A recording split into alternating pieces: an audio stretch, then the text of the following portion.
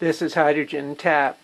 This rather strange looking piece of hardware is actually in fact a coil in the back and two electrodes or two stainless steel screws facing each other. And uh, we take a quick look. You'll see that you see the gap is about an eighth of an inch there I've got it strapped to the face of the coil and I'm going to be able to run power through the coil and what we're going to do or, is see just how a real field, I mean really close to that hydrogen, how that affects it. So the gap there is very small and we should be able to capture this pretty easy. First thing I'm going to do is generate the uh, hydrogen so we can see what it does. This is all going to go through a, a amp meter as well, so we'll be able to monitor the amps. So the first thing I'm going to do is we're going to take a look at it running straight, that is producing hydrogen between the, the gaps here. Here's a better look at the uh, coil behind it. We're in for the kill, so to speak see how close we can get here.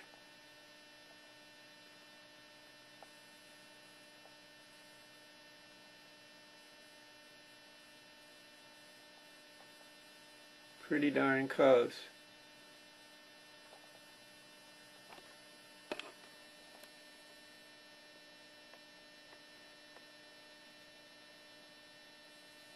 There you go. I don't think I can get too much closer than that. Okay, so what I'm going to do is generate a field. I should say this. What I'm going to do is put current through those two screws. The screw on the right is going to be your positive. The screw on the left is negative. So you should see hydrogen coming off the negative side. That it is. Of course, that is out of focus, right?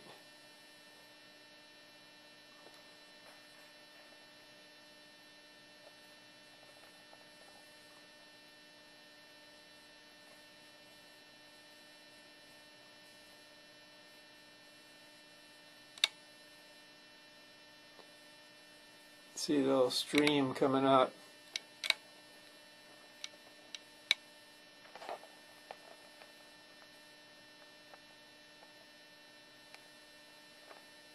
There's an interesting shot. Okay.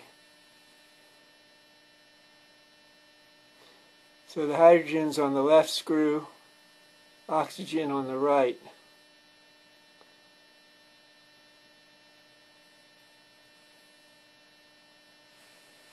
Okay, now what I'm going to do is generate a, a current through the uh, coil in the back.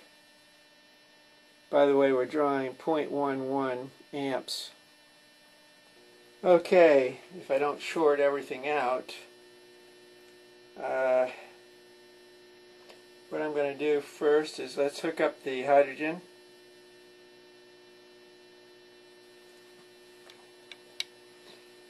and we're reading 0.15 see if I can get you a view of that guess that's going to be pretty impossible for now. Well let's first take there's the hydrogen coming up. You can see it. Not too shabby for two points. And we're drawing point one four amps current. There's a charger on the system right now, and its char the high point is 14.30 volts. Now I'm going to hook the the electromagnet up to this thing. Oops, there. The electromagnet is drawing 4 amps Let's take a look at this thing.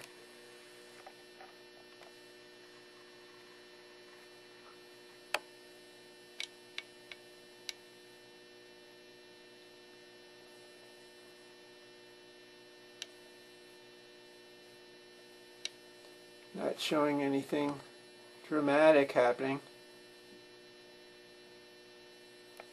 To release the electromagnet.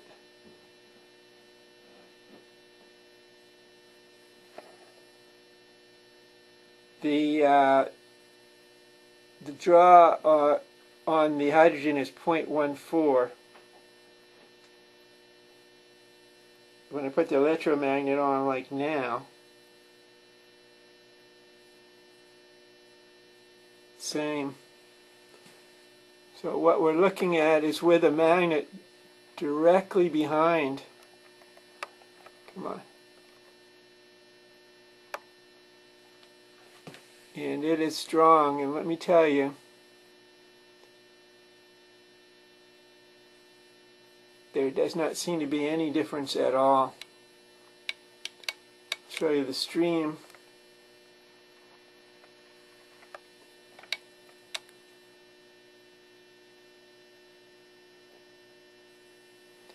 That's coming from the those two screws. I'm going to try to back this camera up here so that you can see the draw on this.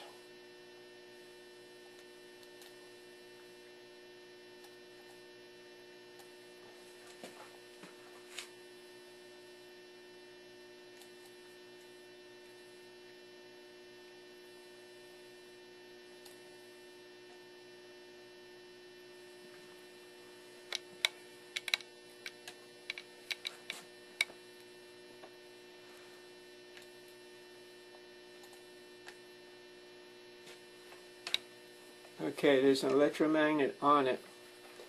Let's see if I can do it. Okay, the uh,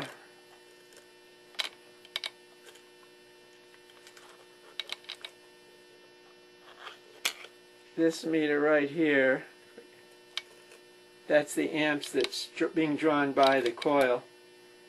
13229 now is the voltage across the battery, and the 0.14 is the hydrogen draw. That's in amps.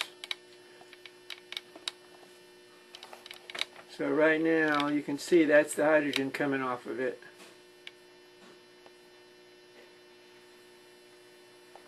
And what I'm going to do now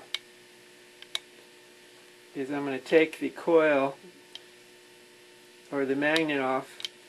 Remember the 0.14 is the amps being drawn by the hydrogen. Now I'm going to take the coil off right now.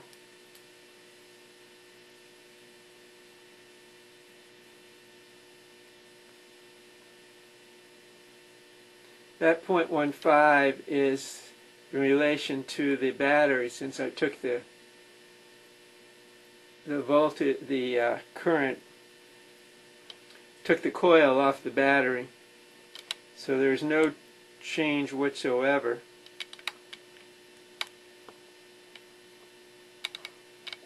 Take a long shot of that.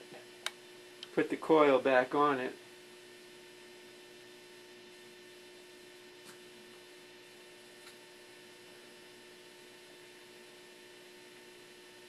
There's no dramatic change. Now one thing I can do is swap the coil around how am I going to do that? Uh, okay, now I swapped the coil so the magnet field is changed. And guess what? There is a interesting change there. I'm going to take the field off. Now,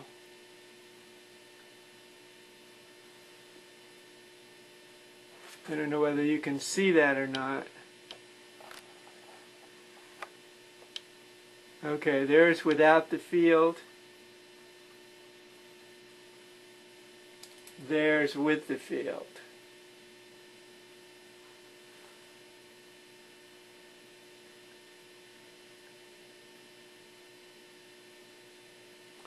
Taking the field off. Now.